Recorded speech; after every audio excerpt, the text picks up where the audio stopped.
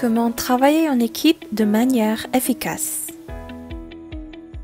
À la fin de la première partie de cette leçon, vous serez en mesure de comprendre l'importance du travail d'équipe en contexte d'apprentissage comme en contexte professionnel.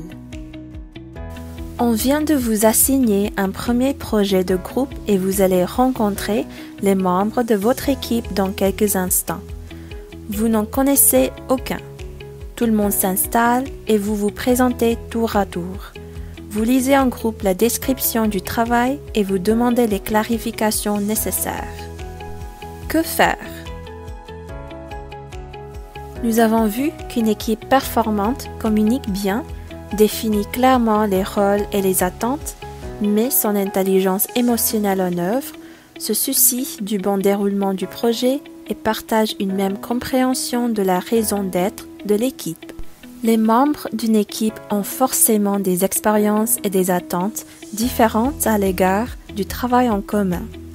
Mais il existe des stratégies et des outils qui vous permettront de rester bien organisé et d'atteindre vos objectifs. Pour bien travailler en équipe, il faut d'abord comprendre comment se forme une équipe et ce qu'est la dynamique d'équipe. En 1965, le psychologue Bruce Tuckman a proposé un modèle de constitution d'une équipe en quatre étapes. Formation, turbulence, normalisation et performance. Il a ajouté plus tard une cinquième étape, la dissolution. Les membres de l'équipe doivent apprendre à travailler ensemble de manière efficace.